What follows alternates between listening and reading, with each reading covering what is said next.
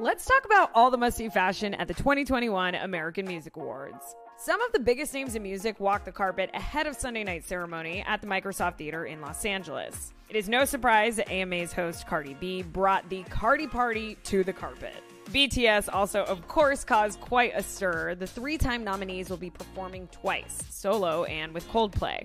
They were initially scheduled to perform their Butter remix with Megan Thee Stallion, but she had to pull out due to, quote, an unexpected personal matter. Other stars who suited up include Machine Gun Kelly, Bruno Mars and Anderson .Paak, aka Silk Sonic, presenter Ansel Elgort from the upcoming film West Side Story, and Bad Bunny, who always has so much fun with his fashion. Olivia Rodrigo's outfit is award worthy, which is perfect since she leads this year's nominations with seven nods.